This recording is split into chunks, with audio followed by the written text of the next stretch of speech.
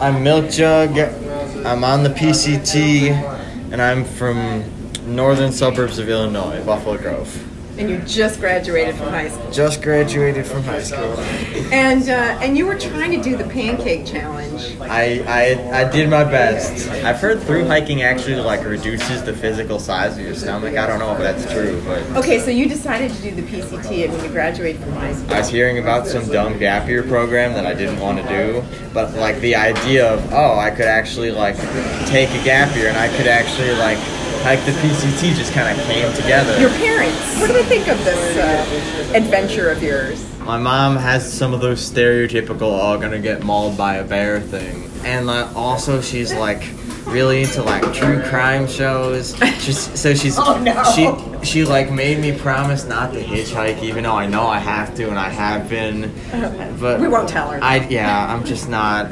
There is some inherent danger out here. You said you started on June 20th, which is from Harts Pass, which is actually Yeah. pretty early for Washington. So you Yeah. had snow. So I started rain. as a true southbounder. I didn't flip at all. Right. So, um, I started June 20th, which was a little early. I had an ice axe at the time, but no micro spikes.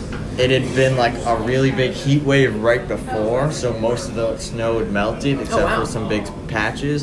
And then, like a couple days before I started, the weather just like turned, and it was all snow and sleet for days. And then the day I got there, it was like a mix of the excitement of I'm finally here, like I've been planning this for like a year, Yeah.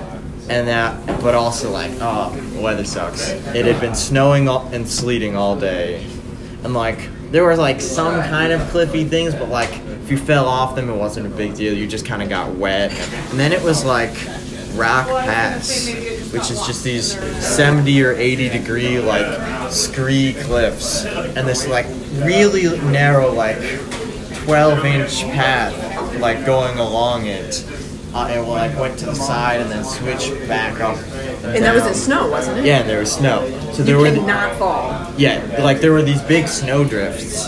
So like some of them would go down like a couple hundred feet, and you would you'd be like, um, and you'd be crossing it, and you'd be like, oh, I have, um, like I have time to stop myself if I fell here. It would it would really suck, but like I probably wouldn't die. And then there were other ones where it's like. There's 20 feet of snow around the trail. There's no way to go around it.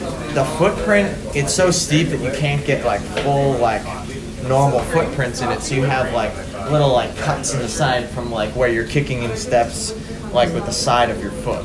So you're like trying to balance on these. There's this one area that you kind of have to go at a weird angle down on your knee, and then like I had been hiking. I hiked faster than the people that were hiking with me, but the other people there were more had more mountaineering experience. Because this is like my second day on a mountain ever. Um, so like, I got a, ahead of them for this snow crossing. So they hadn't kicked in better steps yet. So I'm doing what was already there, and I get to that that one really difficult part I just mentioned Uh-huh. and then I would say like the quarter or half of a second going from being vertical to being horizontal was just like pure terror and then like like this weird kind of like life or death calm like sets into you and you just do what you have to Whoa. well, it's really great to talk to you, Milk Jug, and I wish you the best. I think we're going the same direction, so we'll probably catch up. yeah thanks